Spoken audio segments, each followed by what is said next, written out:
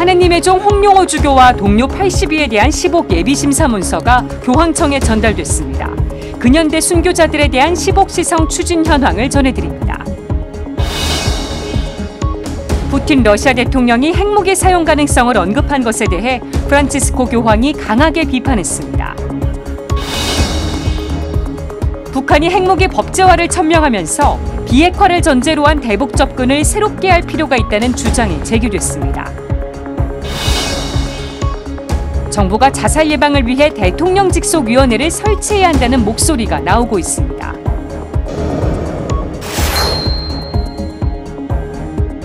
시청자 여러분 안녕하십니까? 9월 22일 목요일 CPBC 뉴스 시작하겠습니다. 오늘은 근현대 순교자들에 대한 소식으로 시작합니다. 한국 천주교회가 10억 시상을 추진 중인 하느님의 종 홍용호 프란치스코 보르지아 주교와 동료 80위에 대한 10억 예비 심사 문서가 교황청에 전달됐습니다. 한국 천주교 주교회의 10억 시성 주교 특별위원회 대표단은 로마 시각으로 어제 교황청 시성부를 방문해 교황청 시성부 차관 파비오 페베네 대주교에게 10억 예비 심사 문건을 제출했습니다. 당초 시성부 장관 마르첼로 세메라로 추기경에게 전하려 했지만 불가피한 사정으로 차관인 파베네 대주교에게 전달됐습니다. 교황청 성직자부 장관 유흥식 추기경은 주교회의 의장 이용훈 주교를 비롯한 대표단과 동행했습니다. 이용훈 주교는 파베네 대주교와의 환담에서 하느님의 종 81인은 대부분 한국전쟁 전후의 순교한 이들이라며 10억 추진이 분단의 아픔을 겪는 한국인들에게 위로와 희망이 될 것이라고 말했습니다. 블라디미르 푸틴 러시아 대통령이 핵무기 사용 가능성을 언급해 논란이 일고 있습니다. 프란치스코 교황은 핵무기를 광기라고 표현하며 강하게 비판했습니다. 장현민 기자가 보도합니다. 우크라이나에서 다시금 긴장감이 높아지고 있습니다. 블라디미르 푸틴 러시아 대통령이 현지 시간으로 어제 군 동원령을 전격 발표한 겁니다. 푸틴 대통령은 이를 통해 러시아를 보호하기 위해선 모든 수단을 사용하겠다고 엄포를 놨습니다. 핵무기를 사용할 수 있다는 점을 암시한 겁니다. 푸틴 대통령의 핵무기 사용 가능성 언급에 대해 프란치스코 교황은 광기라는 표현을 사용하며 비판했습니다. 푸틴 대통령을 직접 언급하진 않았지만 지난 때 방문한 카자흐스탄이 핵무기를 포기했던 사례와 대비하며 푸틴 대통령을 강하게 질타한 겁니다.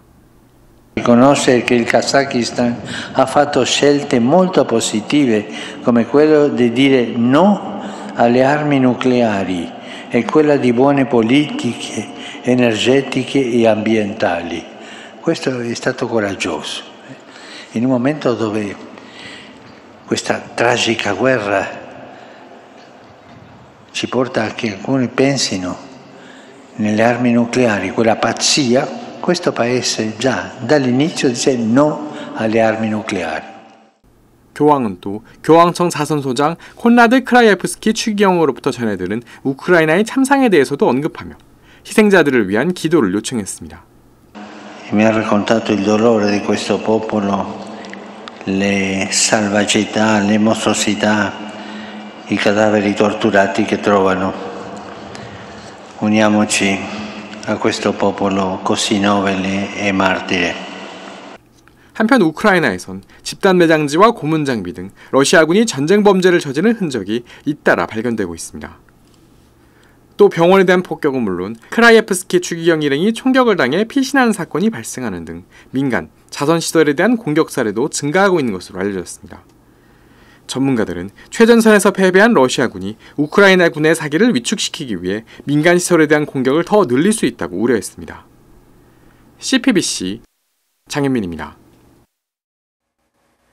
북한이 핵무기 사용 가능성을 넘어 법제화까지 천명했죠. 윤석열 정부는 북한의 비핵화를 전제로 대화를 모색해 왔는데요. 한반도 평화를 위해선 대북 접근을 새롭게 할 필요가 있다는 주장이 제기됐습니다. 윤재선 기자의 보도입니다. 북한이 비핵화 의지만 보인다면 경제적 지원은 물론 정치, 군사적 조치까지 제공하겠다는 윤석열 대통령의 담대한 구상. 하지만 북한 김정은 국무위원장은 비핵화도 협상도 절대 없다며 핵무기 사용 원칙 등을 담은 법령을 채택했다고 천명했습니다. 한반도 평화 해법은 갈수록 미궁으로 빠져들고 있는 상황. 여기에 미국과 중국 간 전략 경쟁과 동북아 핵 군비 경쟁은 이미 과거 냉전 시기를 넘어 한반도의 대치 전선을 더욱 강화하고 있습니다. 과거 사례에서 보듯 군사 중심의 절대 안보를 강조하거나 북한에 대한 비핵화, 북미 협상 등을 우선하는 접근으로는 한반도 평화 프로세스가 근본적 한계를 가질 수밖에 없다는 평가가 북한 문제 전문가들 사이에서 나옵니다. 국무총리실 산하 국책연구기관 내 북한 전문가의 진단도 별반 다르지 않습니다. 원칙은 비핵화의 원칙을 계속 유지하고 그걸 문턱으로 삼겠다라는 것이 지금의 어, 한국과 미국의 입장인데 그럼에도 불구하고 현실은 그 비핵화 협상으로부터 멀어지고 있고 또 그 가능성이 굉장히 희박해지고 있다는 것이죠. 그런 점에서 한반도 평화 프로세스에 대한 접근을 달리할 필요가 있다는 주장이 나옵니다. 핵심은 비핵화가 아닌 상호 안전 보장에 있다고 강조합니다. 비핵화에 상응하는 안전 보장, 즉 당사국 모두의 안전이 보장되는 구도를 만들어 비핵화의 효과를 만들어내는 현실적인 평화 프로세스를 고민해 볼 필요가 있다는 제안입니다. 포괄적인 차원에서는 어떻게 상호 위협을 줄여나갈 수 있는지 가능한 것부터 줄여, 줄여나가는 상호 안전에 대한 문제를 포괄적 입구로 삼고 그 위협을 줄여가는 입구로 북한을 끌어들이는 방식으로 접근하는 그러기 위해선 압도적 굴복을 통해서가 아니라 과감하고 선제적인 화해 메시지를 통해 공존 가능한 평화의 해법을 찾을 때라는 지적입니다.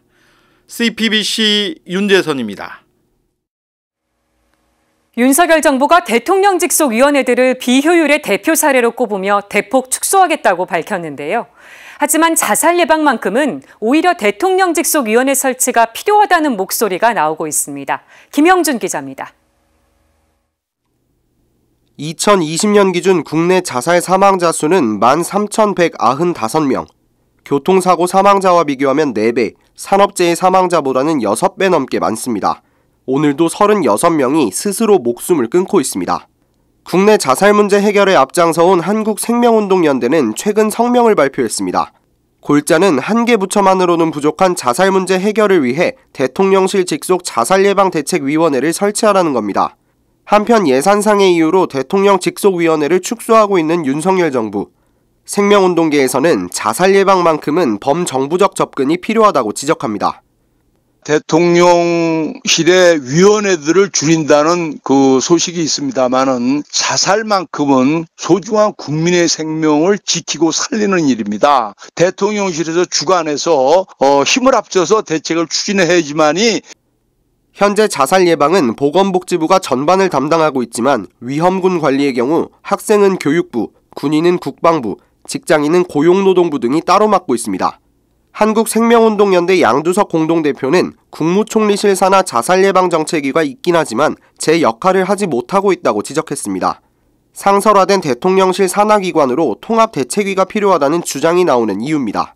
자살 문제 해결을 위해 대책위를 설치하고 성과를 낸 일본의 사례는 주지할 만합니다. 2006년에 우리말하면 총리실 대통령실인 총리실의 자살 예방 대책 위원회를 만들어서 온 부처가 힘을 합쳐서 대책을 추진해서 37%를 줄인 바가 있습니다. 한국생명운동연대를 함께 이끌고 있는 신상현 수사도 죽음의 문화를 거두기 위한 노력을 강조했습니다. 우리 세, 세상에 죄를 지어서 저 사람을 죽음으로 몰고 가지 않았느냐. 우리 모두의 책임이다. 이건 우리 공동의 책임이고 공동의 대처로 이 문제를 해결해야 된다. 그게 교회 연대성의 원리, 그런 책임의 원리, 그런 걸 가지고 우리가 접근해야 된다고 생각합니다. CPBC 김형준입니다. 신심이 담긴 글씨로 복음을 전해온 가톨릭 글씨문화연구회가 전시회를 열고 있습니다. 수익금은 명동밥집에 기부됩니다. 이힘 기자가 현장에 다녀왔습니다. 아름다움을 쓰다를 주제로 한 가톨릭 글씨 문화 연구회 회원들의 작품입니다.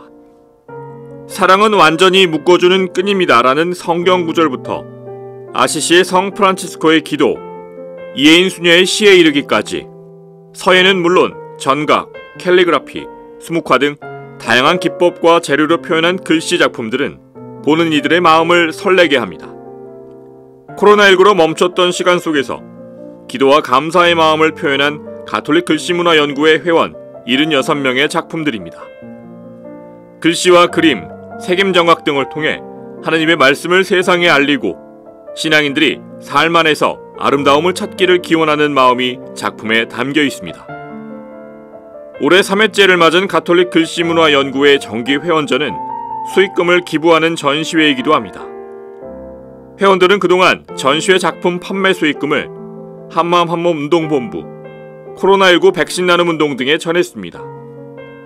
올해 정기전에서는 캘리그라피 성구 써주기와 프란치스코 교황에게 선물한 부채, 그리고 전각 판매 등으로 마련된 수익금을 명동밥집에 기부할 예정입니다.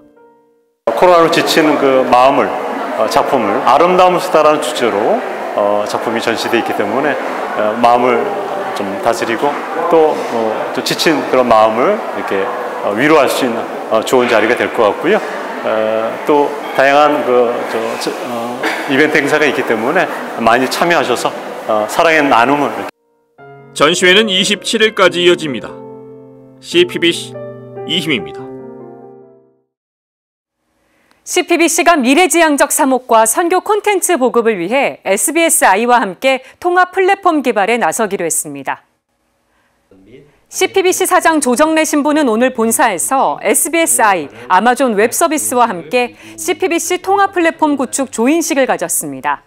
조인식은 최신 OTT 플랫폼과 온라인 뉴스 서비스 트렌드를 반영하고 미래지향적 선교 콘텐츠를 보급하는 플랫폼 구축을 위해 마련됐습니다. CPBC는 내년 3월 1일 정식으로 통합 플랫폼 서비스를 개시할 예정입니다. SBSI 조재룡 사장은 SBS 온라인 미디어 플랫폼 사업의 첫 사용자인 CPBC 온라인 서비스에 지상파 수준의 품질과 안정성을 제공하기 위해 노력하겠다고 밝혔습니다. 이상으로 CPBC 뉴스를 마칩니다. 시청해주신 여러분 고맙습니다.